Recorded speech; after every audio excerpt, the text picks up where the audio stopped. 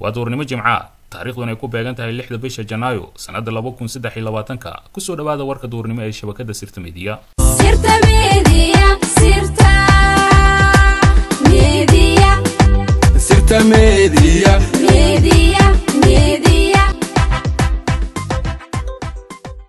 gabar oo xasan garguurta sodog u yahay oo afgembi aan dhiig ku daadan kula wareegtay hay'adda taya dhowrka soomaaliya kadib markii warqad shaqadii looga joojiyey maareeyihii hay'adda taya dhowrka soomaaliya uu soo saaray wasiirka ganacsiga iyo warshadaha xildhibaan cabdirashiid xaaji cabdi.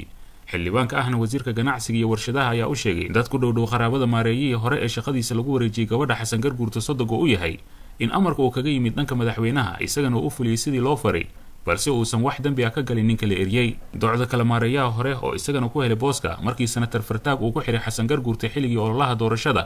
haddana in la eriya sahalka ka dhigtay in fartaag iyo garguurta ay kala dhaqaaqeen oo aanan looga baahnayn meesha isbuucan ayaa waxa ay hay'adda tayo dhowrka soomaaliya galaysa heshiisyo caalami ah iyo weliba shirkad gudaha ka dhisan oo khandaraasyo lagu siinaya dad ehel la ah madaxweynaha iyo qaar ka tirsan ganacsatada ku-heebta. Fadeexad xoog leh ayay dhex taagan tahay hay'adda tayo dhowrka soomaaliya. Kadib markii ku-xigeenka hay'addaasi ee koodii bishaani janaayo ku dhiiratay magacaabidda in ka badan labaatan jago ay u magacowday shakhsiyaad ka tirsan qaraabada madaxweynaha soomaaliya iyo xubno ganacsataa oo ay shuraako ganacsi yihiin isla madaxweyne xasan sheekh maxamuud sida ku cad waraaqaha magacaawidda ah ayaa soo baxay koodii bishan janaayo iyadoo uusan dalka ka maqnayn maareeyaha hay'addan oo isqabqabsi kadib wasiirka ganacsiga uu dhowaan sheegay inuu shaqo joojin ku sameeyey. Kooxda madaxweyne xasan sheekh maxamuud ayaa xoogga saaraya tabcashada malaayiin dollar sidaasi u helaana dhammaan ilaha mashaariicda ayay xoogga saarayaan inay saameyn xoogan ku yeeshaan taas oo meesha ka saaraysa sheegashada fila soomaaliya ee la dagaalanka musuq maasuqa sidii aan horey u tabanay shan iyo labaatankii sebtembar laba kun labaiyo labaatan xaawo axmed xasan oo ka tirsan qoyska madaxweyne xasan sheekh maxamuud una dhaxda wiilka madaxweynaha iyadoo ujeedada loo keenay ahayd in ay madax ka noqoto la socodka mashaariicda hay'adda faydhowrka soo maraya oo gaaray halkii ugu sarrayso ah malaayiin dollarka maraykanka ah. Qaar ka mid a ganacsatada shuraaka wadaaga ay yihiin madaxweynaha ayaa maalmihii la soo dhaafay ka shaqaynayay sidii ay u heli lahaayeen qandaraasyo hay'addan yaalla taas oo dhaba kastay u mariyeen. Sidoo kale gabadha madaxweynaha ayaa iyadana gacanta loo geliyey mashaariic malaayiin dollar ku kacaysa oo ah safarada madaxda dowladda iyo weliba lacagaha ku baxa sida safarka sahayda iyo weliba habeendhaxa taasoo ay maamuli jireen xafiiska agaasimaha guud ee madaxtooyada qaranka wasaaradda maaliyadda iyo bangiga dhexe iyadoo lagu wada wareejiyey raashinka cuntada biyaha shidaalka ama saadka ciidamada qalabka sida noocyadooda kala duwan xaasaska madaxweynaha iyo carruurtooda inay maamulaan shirkado gaar ay u leeyihiin. Waxaa kaloo gacanta loo geliyey ilo kastoo dhaqaale iyo mashaariic la xidhiira khandaraasyada dhismaha iyo qalabeynta qoyska iyo qaraabada madaxweynaha iyo kooxaha fila soomaaliya la jooga ee daljir iyo damuljadiid musuq maasuqa baahsan ee ka socda gudaha xafiisyada dowladda iyo madaxtooyada. Hadda ayaa waxa uu saldhigtay airboorka iyo dekadda iyadoo dhaqaalaha laga helo dhan la geeyay dad noocaas oo kale ah magaalada muqdisho waxaa haatan ka taagan busaaradii ugu xumeed wax lacaga ma yaalla magaalada. Dadkii oo dhan waa ay isaga yaaceen. Qaar kalena waxa ay guryahooda la joogaan cabsi iyo gaajo. Waxaa kaloo ay wadaan in shaqaalaha dowladda federaalk ee sharciga ahaa ee muddada tobanka sana ah soo shaqaynaya in la beegsado oo qaar badan laga eriyo madaxtooyada kuwaasoo u badan toddobaatan boqolkiiba dadka ka soo jeeda puntland koonfur galbeed iyo somalilan iyadoo lagu bedelayo jufada madaxweynaha iyo wasiirka madaxtooyada tusaale wixii habargadir laga eryaya waxaa qortay beddelkooda abshir bukhaari wixii kalena kaabaha weyn ee xasan garguurte dad badan ayaa waxa ay isweydiinayaan maxaa ku dhacay baarlamaanka iyo xukuumaddii oo ay u eeganayaan shacabkan sida loo galayo iyo weliba boobka ilaha dhaqaalaha dalka ku socda. Xasan garguurte hore ayuu soomaalida ugu sheegay in qabyo ninkeeda uu dhammaystirayo. Marka hadda waxaa ummadda u soo caddaatay in qabyadii dhammaystirkeeda uu ka howlan yahay wixii ka dambeeyana uu kacdoon shacab iyo dagaal uu ku qarxi doonaa. Inta isku soo hubatay dhibaatada dalka iyo dadka soomaaliyeed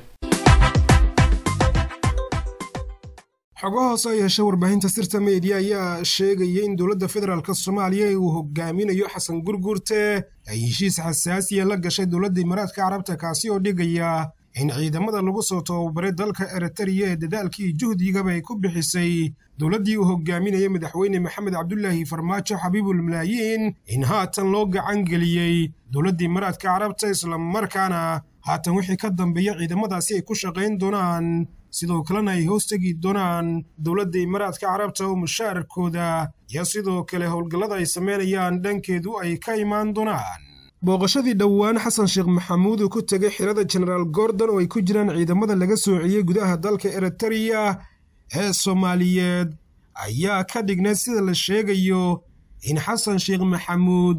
heshiiskaasi uu dhaqan gelinayay islamarkaana maalintaasi wixii ka dambeeyaba gacan ku-haynta ciidamadaasi ay la wareegeen dowladda imaaraadka carabta. Dowladda imaaraadka carabta ayaa doonaysa in ciidamadan tayada iyo awoodda sare leh ee soomaaliya loo soo tababaray islamarkaana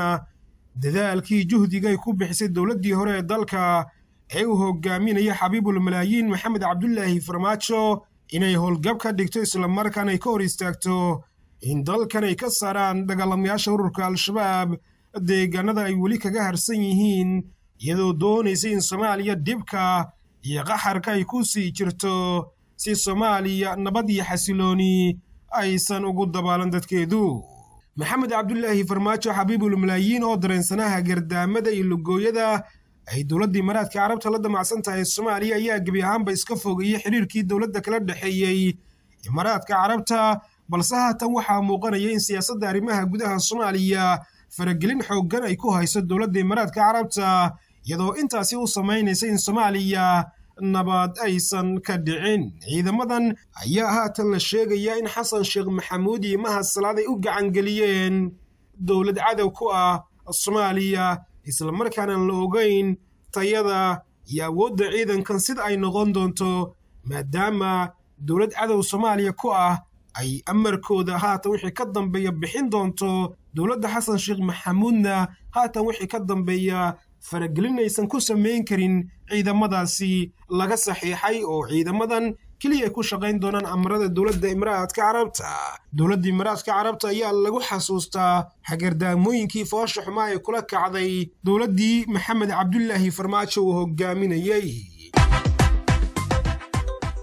xubno ka tirsan jamaahiirta nabad iyo nolol ayaa war xasaasiya ka soo saaray arrintaasi. Waxaana ka mid ah caliyare cali. Caliyare cali ayaa qormadiisu waxay u qorneed sida tan. Maanta maalin madow iyo mugdi gudcur ah ayay kaga dhigan tahay qaranka soomaaliyeed. Dowladda soomaaliya ayaa dalka imaaraadka carabta ku wareejisay ciidankii lagu soo tababaray. Dalka eritariya heshiiska abudubay lagu saxiixay wuxuu qorayaa in dowladda imaaraadka carabta mar kale lagu wareejiyo kana howlgasho xirada ciidanka genaraal gordon iyagoo maamuli doona habsamiu socodka xirada iyo ciidanka ku jira. Sidoo kalena labada dowladood ay iska kaashan doonaan habkii ciidankan yimid ay u howlgeli lahaayeen. Waxaa la buriyey wareegtadii ay dowladdii hore dalka uga saartay khubradii ciidan ee imaaraadka carabta. Dib ayay dalka uga howlgeli doonaan muddo afar iyo toban maalmood laba isbuuc gudahooda.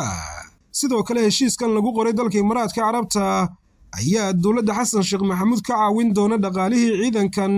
ay ku howlgeli lahaayeen agabkooda iyo dib u casriyeynta xirada ganacsato dowladdu ay wadato ay ku jiraan xildhibaano iyo xigto ka mida odayaasha dalka ugu sarreeya ayaa fulin doona saddex qandaraas oo heshiiska ku jira kuwaasoo kale ah raashiinka iyo shidaalka ciidanka soo daabulista lojistikada ay ku howlgeli doonaan saraakiisha imaaraadka ka socta iyo dhismaha waxaa lagu sheegay dib u casriyeynta xirada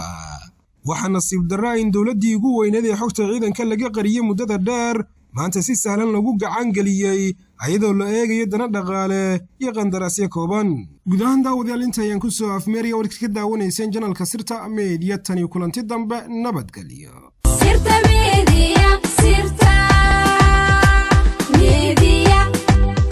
Media. Media.